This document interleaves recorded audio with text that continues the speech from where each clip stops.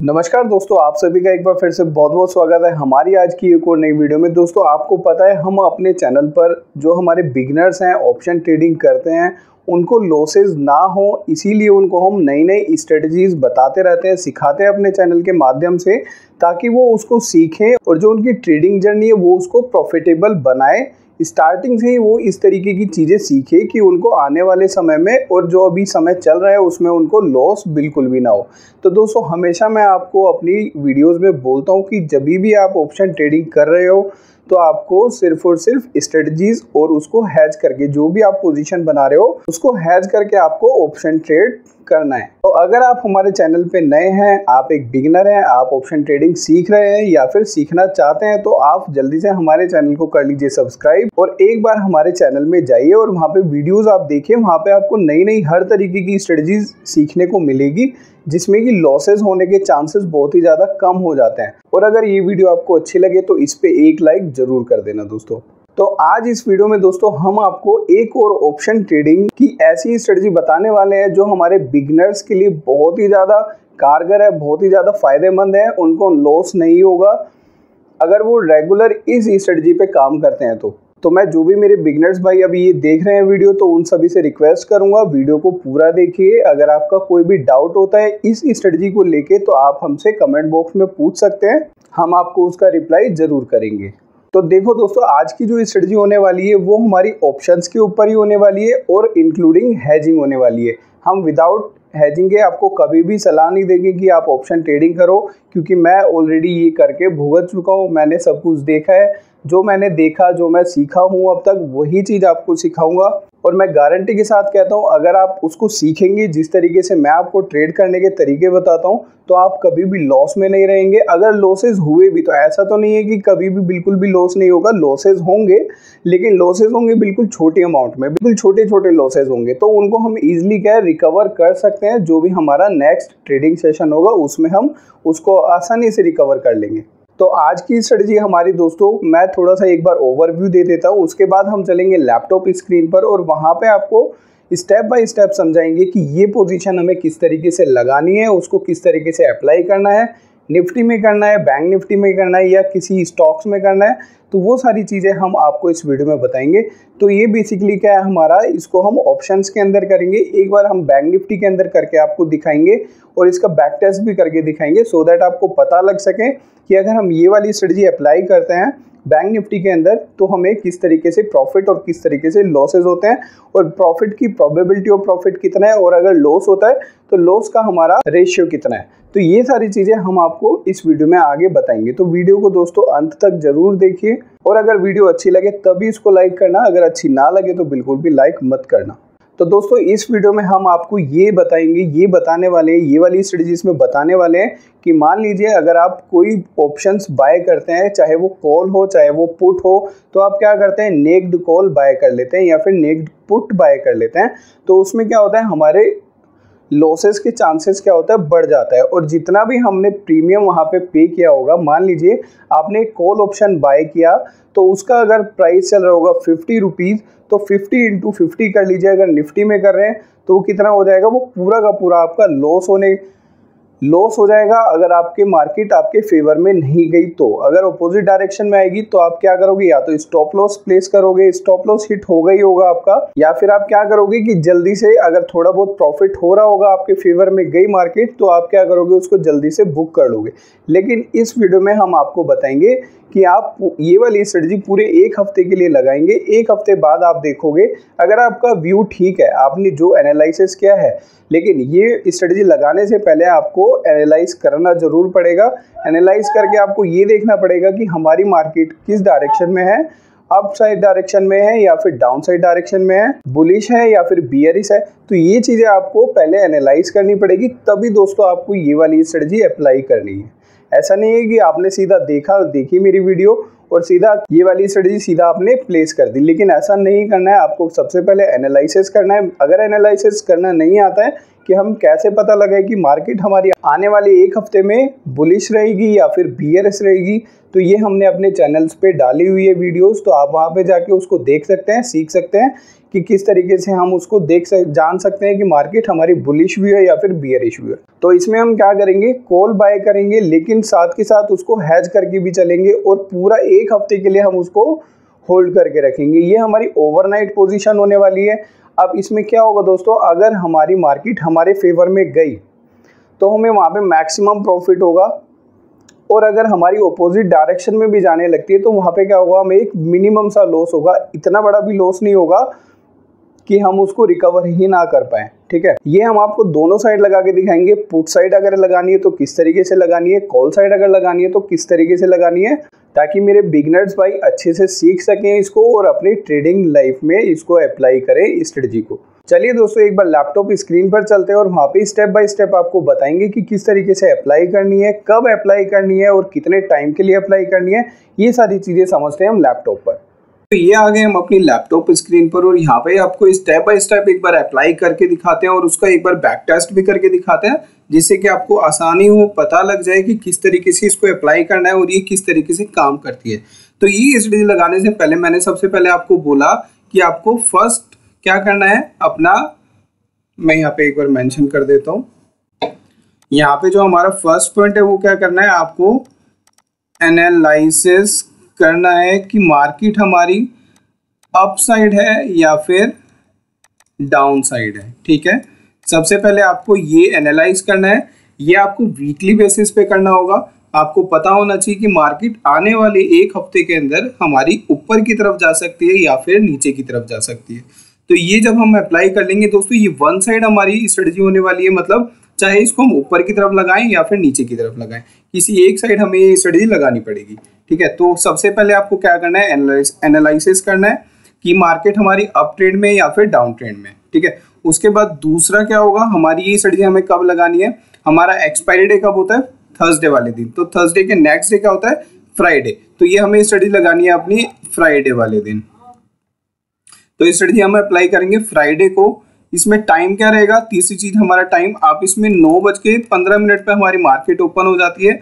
तो आप यहाँ पे नौ बज के बीस मिनट पे या फिर नौ बज के तीस मिनट पे, ये कोई ऐसा फिक्स नहीं है मतलब नौ, साढ़े नौ, दस बजे के बीच में, नौ से दस के बीच में आप इसको अप्लाई कर सकते हो, ठीक है? अब ये बता रहा हूँ मैं आपको बैंक निफ्टी के अंदर आपको करनी है। बैंक निफ्टी में क्या होता है ना दोस्तों, हमारा मूवमेंट काफ़ी अच्छा होता है। काफ़ी ज़्यादा वोलेटाइल होती है मार्केट तो वहाँ पे अगर एक साइड मूव आता है तो काफ़ी ज़्यादा पॉइंट्स हमें मिल जाते हैं। इसलिए हम इसको पहले बैंक निफ्टी में करके दिखाने वाले हैं आपको। उसके बाद इसको देखेंगे कि किस तरीके से ये निफ्टी में काम करती है। तो ये तीन पॉइंट्स हो गए हमारे। सबसे पहले आपको क्या करना है? एनालिसिस करना है कि मार्केट हमारी अप ट्रेंड में है या फिर डाउन ट्रेंड में, ठीक है? उसके बाद क्या करना है? ये स्टडी लगानी है हमको फ्राइडे वाले दिन। और टाइम क्या रहेगा? साढ़े नौ से दस के बीच में आप इसको कभी भी लगा सकते हैं।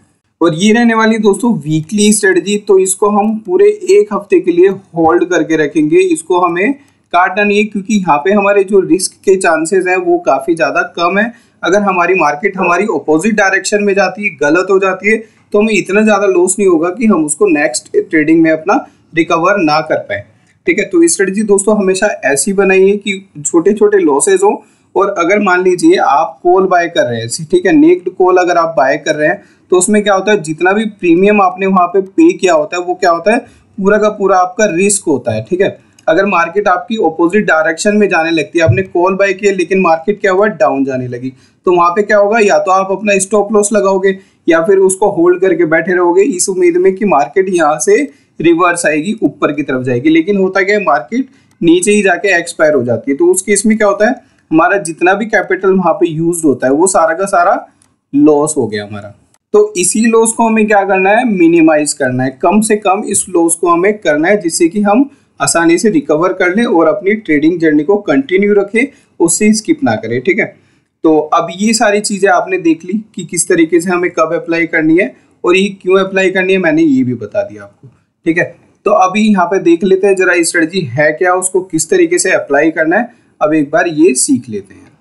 तो देखो दोस्तों, ये मैंने बैंक निफ्टी यहाँ पे ओपन किया हुआ है। ये बैंक निफ्टी का आपका ऑप्शन चेन है तो ये बैंक निफ्टी के अंदर हम अप्लाई करने वाले हैं। तो उससे पहले हमने यहाँ पे मान लीजिए एनालिसिस कर लिया। हमें लग रहा है कि मार्केट हमारी अप ट्रेंड में है, ठीक है?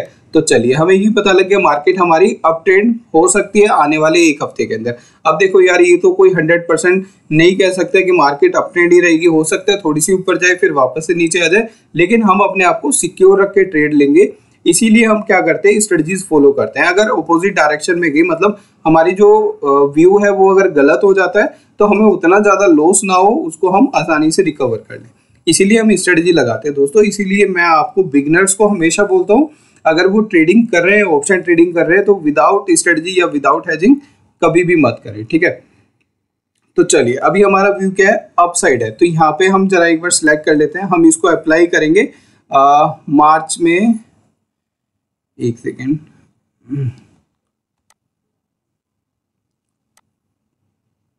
हम इसको अप्रैल में करेंगे, ठीक है? तो अप्रैल में हम स्टार्ट करेंगे ये अच्छा। थर्सडे के बाद हमें फ्राइडे को अप्लाई करना है तो हम क्या करते हैं इसको? मार्च में करते हैं। मार्च में हमारा ये आ गया फ्राइडे। थर्सडे तीस तारीख का था तो हम क्या करेंगे, इसको फ्राइडे को अप्लाई करते हैं। तो मैं इकतीस यहाँ पे मार्च सिलेक्ट कर लेता हूँ और टाइम सुबह साढ़े नौ साढ़े नाइन थर्टी में यहाँ पे टाइम सिलेक्ट कर लेता हूँ। टाइम सिलेक्ट हो गया।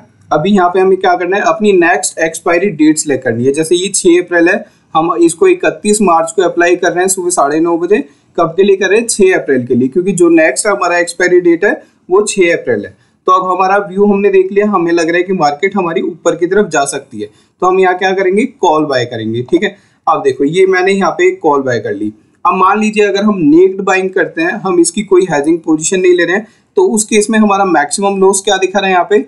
अगर हमारी अपोजिट डायरेक्शन में रहती है मार्केट या फिर जहाँ पे हमने बाई की वहीं की वहीं रहती है थोड़ी सी ऊपर जाती है फिर नीचे आ जाती है, या साइडवेज रहती है तो उस केस में क्या होगा हमें? सात हज़ार आठ सौ छियालीस रुपए का लॉस हो जाएगा। तो हमें क्या करना है? इसी लॉस को क्या करना है? रिड्यूस करना है, कम करना है।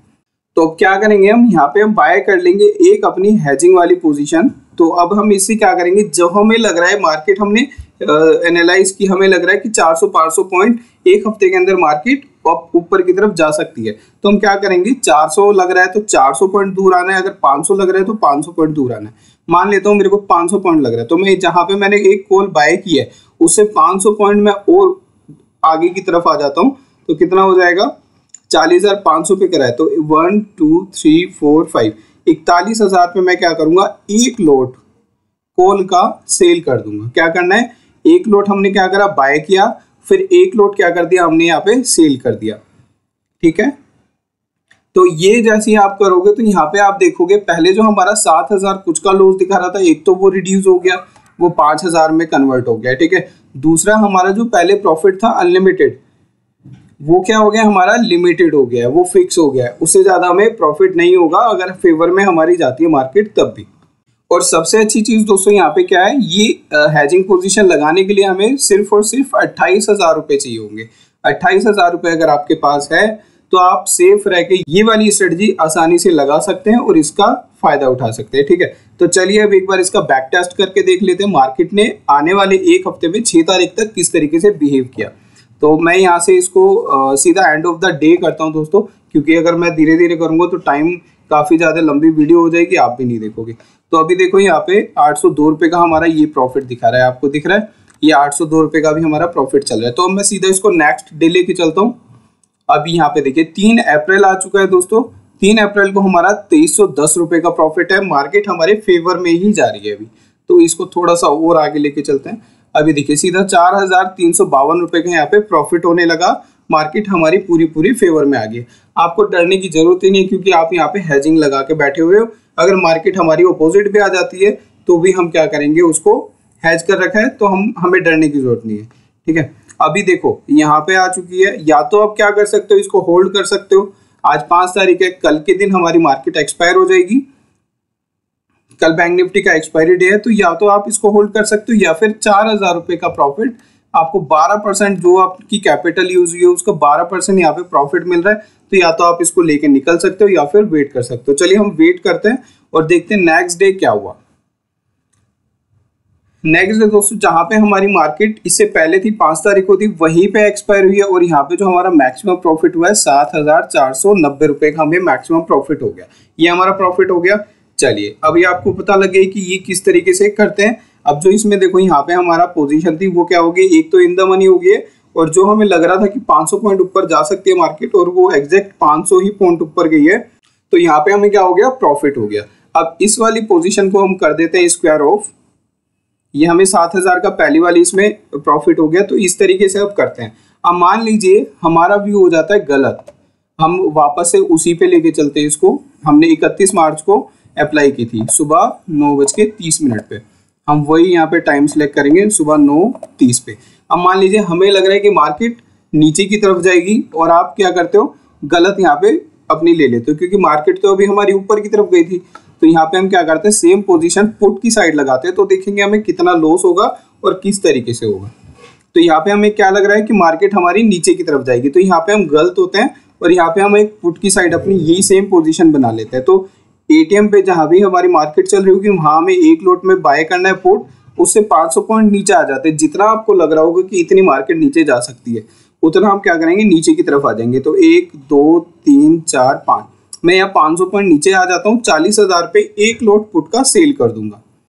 अब देखो, यहाँ पे क्या है मैक्सिमम प्रॉफिट हमारा आठ हज़ार एक सौ सत्तावन का हो सकता है, लेकिन कब? जब मार्केट हमारी फेवर में जाएगी मतलब मार्केट नीचे जाएगी, तब हमें इतना प्रॉफिट होगा। और जो मैक्सिमम लॉस है अगर हम इसको नहीं बाय करते हैं, चलिए हम हैजिंग वाली पोजीशन एक बार को मान लेते हैं, हमने नहीं ली है तो हमें कितना लॉस यहाँ पे दिखा रहा है? मैक्सिमम लॉस आठ हज़ार तीन सौ एक रुपए का मैक्सिमम लॉस है, अगर हम हैजिंग वाली पोजीशन नहीं लेते हैं। अब हम हैज़ वाली पोजीशन ले लेते हैं तो क्या होता है? जैसे हमने हैज़ वाली पोजीशन ली तो हमारा लॉस जो आठ हज़ार था, वो सीधा सीधा उसका हाफ़ हो गया, चार हज़ार रुपए यहाँ पे हमारा पूरा का पूरा लॉस हो जाएगा, अगर मार्केट हमारे फेवर में नहीं रहती है तो। अब इसको हम थोड़ा सा आगे बढ़ाते हैं सेम वही छह तारीख तक लेके चलेंगे और देखेंगे हमें कितना लॉस हो रहा है। देखो नेक्स्ट डे हमें क्या हो रहा है? यहाँ पे लॉस हो रहा है। फिर दोबारा इसको लेके चलते हैं। तीन हज़ार दो सौ तैतीस रुपए का लॉस हो रहा है। अब इसमें क्या है? एक प्लस पॉइंट ये होता है दोस्तों, आपको थोड़ा टाइम मिल जाता है अपनी पोजीशन को स्क्वायर ऑफ़ करने का। अब अगर ये नेक्ड हमारी यहाँ पे बाइंग होती हमने कोई हैजिंग पोजीशन नहीं लगा रखी होती। तो यहाँ पे हमें अभी जो बत्तीस सौ तैंतीस रुपए का लॉस दिखा रहा है, ये हमारा कम से कम चार या पाँच हज़ार रुपए का यहाँ पे लॉस दिखा रहा होता, अगर हमने हैजिंग वाली पोजीशन नहीं ली होती, ठीक है? कहीं ना कहीं हमें वो हैजिंग वाली पोजीशन भी प्रॉफिट देता है तो वो प्रॉफिट और जो हमें लॉस हो रहा है, वो माइनस होके ये हमें यहाँ पे मिलता है। तो इसीलिए हमेशा मैं आपको सजेस्ट करता हूँ कि अपनी स्ट्रेटजी बना के ही कभी भी लो तो ट्रेड लो। चलिए थोड़ा सा और आगे बढ़ाते हैं। ये छह अप्रैल आ चुका है। यहाँ पे देखो, अभी अड़तीस का, ये सुबह साढ़े बजे का ही टाइम है। अड़तीस रुपए का लॉस हो रहा है। इसको एंड ऑफ़ द डे कर देते हैं। तो हमें पूरा पूरा जो चार रुपए का लॉस था, वो पूरा लॉस हमें हो गया है। लेकिन अगर हम नेगड बाय नेगड बाय करते फ़ूड तो क्या होता, हमें आठ हज़ार का पूरा पूरा लॉस यहाँ पे होता। लेकिन हमने क्या करा, उसको हैच किया और इस तरीके से हमने अपनी पोजीशन बनाई। इस तरीके से दोस्तों आप सेफली एक अच्छा प्रॉफिट जनरेट कर सकते हो। अब ये तो हुई हमारी एक बार की बात। ऐसा तो नहीं है कि आप महीने में अगर चार हमारे वीक होते हैं तो चारों वीकों में आपको लॉस ही होगा। चलो मान लेते हैं हमें चारों वीक लॉस भी होता है तो कितना हो जाएगा? चार चौक सोलह हज़ार रुपये हो जाएगा। और अगर हम नेक्ड बाय करते तो क्या होता? आठ हज़ार रुपये का हमें एक उसमें लॉस दिखा रहा था तो आठ चौक बत्तीस हज़ार रुपये हमें पूरा पूरा अगर चार ट्रेड में हम गलत होते हैं तो वहाँ पे हमें बत्तीस हज़ार का लॉस हो रहा होता, लेकिन अब क्या हो रहा है, हमें पूरा पूरा आधा हो गया उसका। अगर हम हैज़ करके बाय करते हैं, ठीक है? तो ये होता है दोस्तों, इस तरीके से आपको हमेशा ट्रेडिंग करनी चाहिए। और जो मैं स्ट्रेटजीज आपको सिखाता हूँ प्लीज़ आप उसको फॉलो करो, उसको एक बार अप्लाई करो। अगर आपको किसी भी तरीके का डाउट होता है तो आप मुझसे पूछ सकते हैं। तो थैंक यू सो मच दोस्तों। अगर आपने अभी तक हमारी वीडियो देखी, आपका बहुत बहुत धन्यवाद। और अगर आपका कोई भी डाउट हो, कुछ क्वेश्चन हो तो आप हमसे कमेंट बॉक्स में पूछ सकते हैं। थैंक यू सो मच दोस्तों। मिलते हैं एक और नई वीडियो के साथ।